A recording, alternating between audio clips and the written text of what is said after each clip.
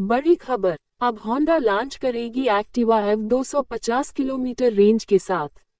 Electric अवतार में launch होगी होंडा एक्टिवा आज भारत में होंडा सबसे ज़्यादा दोपहिया वाहन बेचने वाली कंपनी बन गई है, जिनके पास एक से बढ़कर एक व्हीकल है। होंडा की सबसे ज़्यादा बिकने वाली स्कूटर है एक्टिवा जिसको अब ब्रांड इलेक्ट्रिक अवतार में लॉन्च करने की तैयारी में है। देश में इलेक्ट्रिक स्कूटर की मार्केट सबसे ज़्यादा तेज़ी से बढ़ रही है, व अब लोग इन्हें पेट्रोल के मुकाबले ज़्यादा पसंद करते हैं, जिसका कारण है इनकी बढ़िया परफॉर्मेंस, लंबी रेंज, आधुनिक फीचर व किफायती कीमत। टीवीएस, बजाज व ओला के बाद अब होंडा भी अपना इलेक्ट्रिक स्कूटर मार्केट में उतारने जा रहा है, जो कि एक्टिवा एफ़ हो सकती है।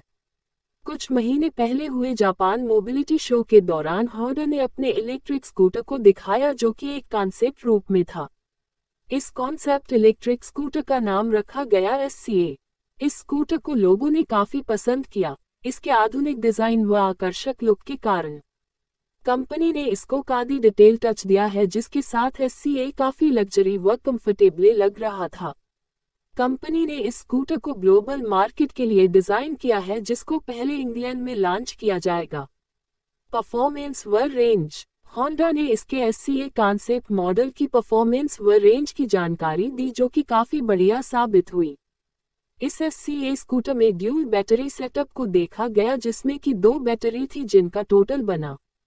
अभी तक कंपनी ने इसकी परफॉर्मेंस की पूरी जानकारी नहीं दी है, लेकिन उम्मीद है कि इसका प्रोडक्शन मॉडल 250 किलोमीटर से अधिक रेंज व 105 किलोमीटर प्रति घंटे से अधिक टॉप स्पीड देने वाला है।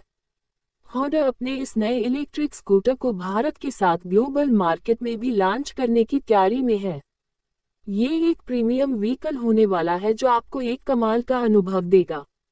मिलेंगे आकर्षक फीचर इस हॉर्डर एस सी इलेक्ट्रिक स्कूटर में शानदार फीचर को भी देखा गया, जिनमें शामिल थे बारह, कैलायो व्हील, डिस्क ब्रेक, सभी LED light daytime running light dual battery setup touch screen in infotainment system mobile connectivity के साथ push button start keyless entry telescopic front suspension dual rack spring setup बड़ा बूथ स्पेस व और भी काफ़ी सारे premium feature Honda motor company ने अभी इस एस सी ए कॉन्सेप्ट की लॉन्चिंग के बारे में भी कोई जानकारी नहीं दी, लेकिन ऐसे उम्मीद की जा रही है कि इसको जेपनीज ब्रांड अगले साल के बेच तक लॉन्च कर देगी।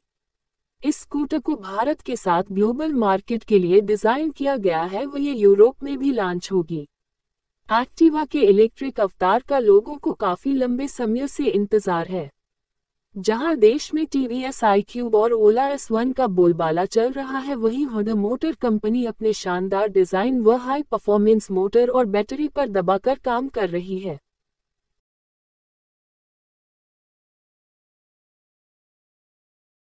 वीडियो को लाइक करें कमेंट करें शेयर करें और सब्सक्राइब ज़रूर करें।